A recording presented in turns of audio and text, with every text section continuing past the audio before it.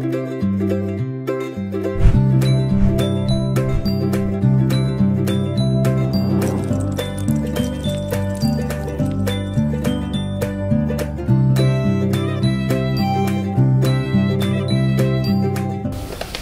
Olá meninas, olá meninos, tudo bem com vocês? Tudo ótimo comigo também, que bom estar aqui para mais um vídeo.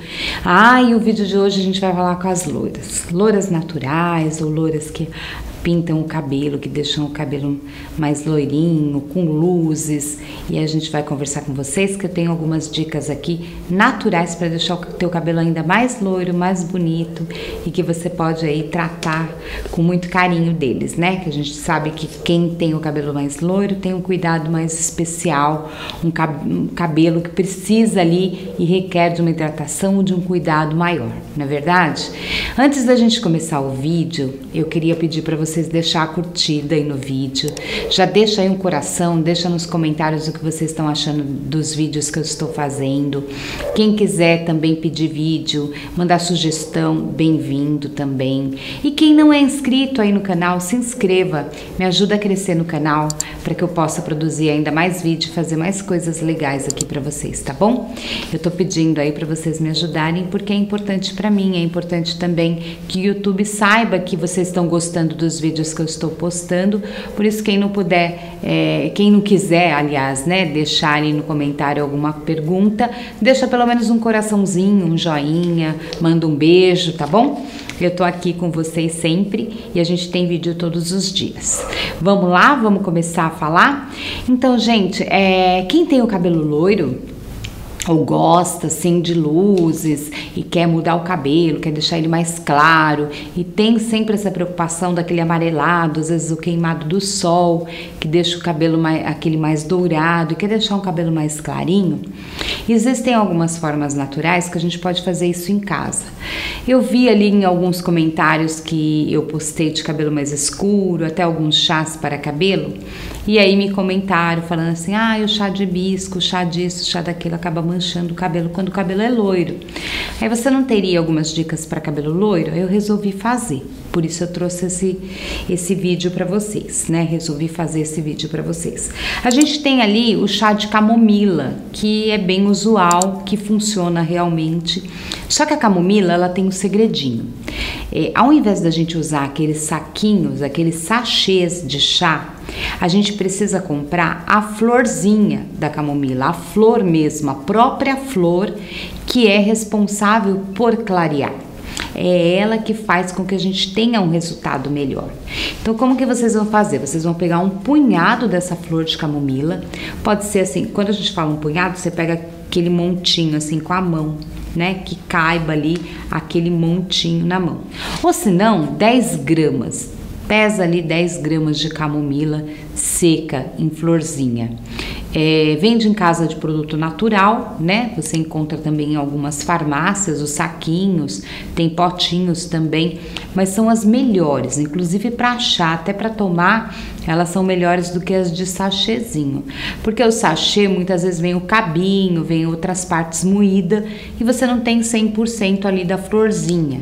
Nem o, o próprio a florzinha quando vem também vem alguns pedacinhos de caule e tudo mais. Só que você tem um aproveitamento maior porque ela vem mais flores, né? Então você consegue aproveitar bem melhor. Olha que, que diferença. Então fica a dica aqui da florzinha, tá bom? Aí você pegou esse, essa quantidade, você vai separar 500 ml de água fervendo. Vai colocar essas flores depois que a água estiver borbulhando. Deixa em 5 minutos fervendo ali a água com a flor da camomila.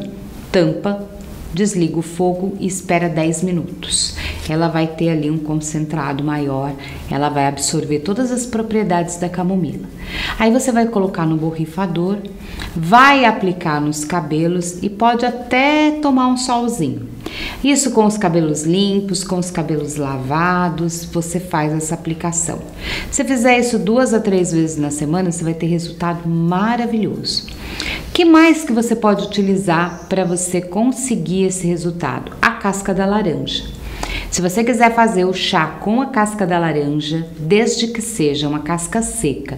Então, quando você fizer é, laranjada ou você tiver comendo, chupando alguma laranja, você descasca a sua laranja, cata essa casquinha, deixa ela secar bem e guarda ela em saquinhos ali limpinha e deixa para você fazer o chá. Aí você vai fazendo esse chazinho. Uma laranja dá para fazer 500 ml de chá. Então você pode fazer também a, o chá da casca da laranja. Aí você tem que ferver por 10 minutos, né? Essa casca de uma laranja, você ferve durante 10 minutos com 500 ml de água. Deixa tampado, espera esfriar. Quando ela tiver frio, bonitinho, coloca no borrifador, borrifa no cabelo para ajudar a clarear. Clareia super, dá um resultado super legal, porque a laranja é cítrica e algumas frutas cítricas ajudam a clarear. Eu não indico limão, tá, gente? Tem gente que às vezes acha que usando limão ele pode clarear também. Até ajuda a clarear. Porém, o limão tem um risco muito grande de você ter algum tipo de queimadura aqui na testa e tal, ter alguma mancha na pele. Então, eu não indico limão por conta disso, tá bom? A gente tem que ter esse cuidado também. A casca da laranja é rica em vitamina C, flavonoides e ela é antioxidante. Então, ela vai fazer super bem pro seu cabelo loiro. Né? E aí você faz dessa forma que eu expliquei.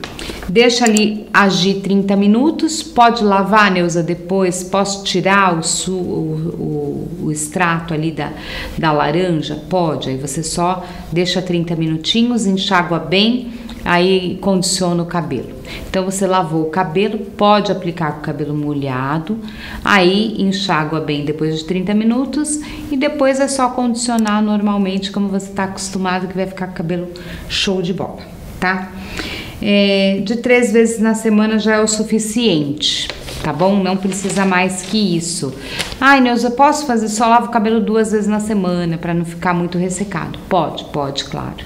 Não tem problema nenhum. E você vai ter um resultado bem legal. E depois você vem contar aqui pra mim o que, que vocês acharam, tá bom? É esse o vídeo que eu gostaria de deixar para vocês. Quero pedir de novo para vocês deixarem a curtida, caso não tenha deixado. Deixa aí no comentário um coraçãozinho, deixa aí um, um recadinho para mim bem legal. Quem não tem meu Instagram, vai lá no meu Instagram, Neuza Batista Oficial. E quem ainda não é inscrito no canal, por favor, não deixa de se inscrever, que é tão importante para mim, tá bom? Muito obrigada, um dia maravilhoso para vocês. Fiquem com Deus e até o próximo.